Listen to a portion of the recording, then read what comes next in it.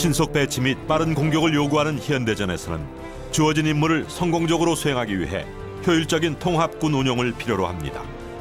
이에 대응하여 두산 DST는 최신의 6x6 차륜형 장갑차를 독자 기술로 개발했습니다.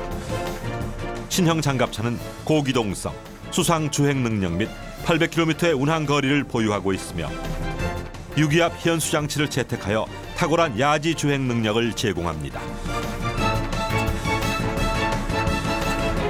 수요자의 다양한 요구 사항에 따라 12.7mm, 30mm RCWS, 40mm 유탄 발사기 및 90mm 포탑을 탑재할 수 있으며 또한 최근에는 대공 미사일을 탑재한 8x8 차륜형 장갑차 개발을 완료했습니다.